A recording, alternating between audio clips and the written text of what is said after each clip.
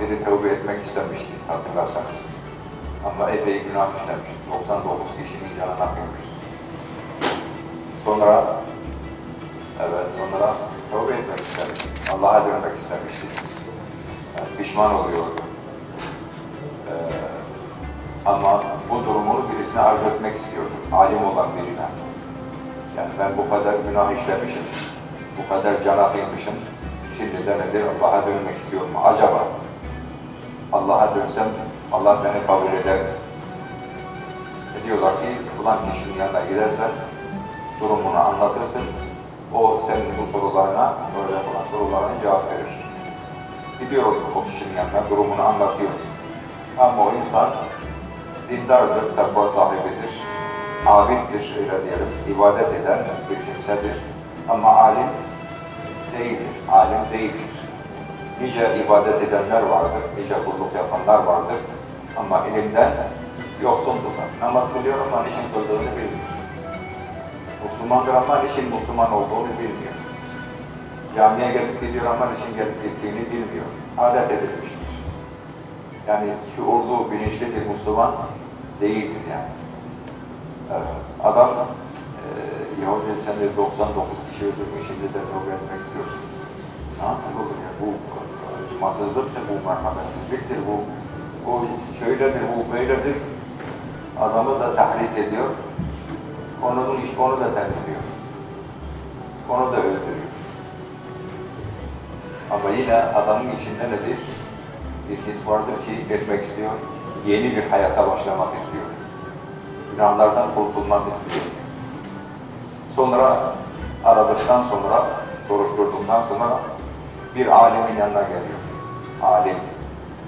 Alim anlatıyor. Tamam ki tövbe etmek istiyorsan tövbe kapısı nedir? Açıktır. Yeter ki seferdir. Madem ki Allah'a gelmek istiyorsan Allah seni kabul eder. Allah tövbeni kabul eder. Ama bu, benim sana şöyle bir tavsiyem vardır. Bu bölgeden veya bu köyden veya bu şehirden veya bu kasabadan veya bu mahalleden etmelisin. Ayrılmalısın. Niçin? Çünkü buradakiler evet kötü insanlardır. Buradakiler nedir? Kötü kişilerdir. Kötü olmana sebep olan bunlardır. Kötülük yapmana, yapmamana, yapmana sebep olan bunlardır. Benim sana tavsiyem nedir? Madem ki iyi olmak istiyorsan, iyilerin yanında yaşamalısın. İyilerin yanında bulunmalısın. Nerededir? Ulan yerde, ulan köyde. Ulan köye gideceksin. Ulan köylere iyi insanlar vardır, kulluk yapanlar vardır. Onlarla beraber olmalısın. Yolda giderken gidiyor artık. Tövbe etmek için gidiyor. Yeni bir hayata kavuşmak için gidiyor. Efendim.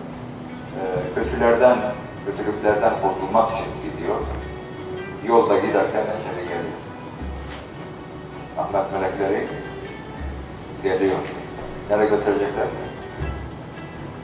Rahmet melekleri nereye götürecekler? Cennete. Bir de azap melekleri geliyor. Nereye götürecekler? Cennete. O diyor, bu kadar günah işlemiştir. Bu da diyor ki, tövbe etmiştir, vazgeçmiştir. Ve iyi olmak için iyilerin yanına gidiyordu. Sonra başka bir melek geliyor, ölçün diyor. Eğer iyilerin köyüne yakınsa rahmet melekleri alsındır. Yok, eğer nedir? Kötülerin köyüne daha yakınsa azap melekleri götür. Ölçüme başlıyorlar. Ölçerken evet, Allah Celle Celaluhu kötü olan köyün uzaklaşmasını, iyi olan köyün de nedir? Uzaklaşmasını, yaklaşmasını. Bakıyorlar, geliyorlar ki nedir? İyi olan köye daha yakındır. Rahmet melekleri alıp onu bekliyorlar. Burada neyi anlıyoruz? İyi insanları etmek, dost edilmek. İyi olan insanları arkadaş edilmemiz gerekiyor. Ee, insan iyi olabilmesi için, insan nedir? İyi olabilmesi için iyi olan kimselerle. İyi olan insan e, şüphesiz e, hata yaptığın zaman ne yapar? Bizi uyarır. Hata yaptığımız zaman elimizden tutar. İyi insan, iyi olmamızı sağlamaya çalışır. kötü olan sözlerden bizi vazgeçirmeye çalışır. Ama kötü olan insan ne yapar? Kötü olan sözleri söyler, kötü olan yerleri öğrenir. Kötü olan işleri nedir? Evet. Onun için ne demişler?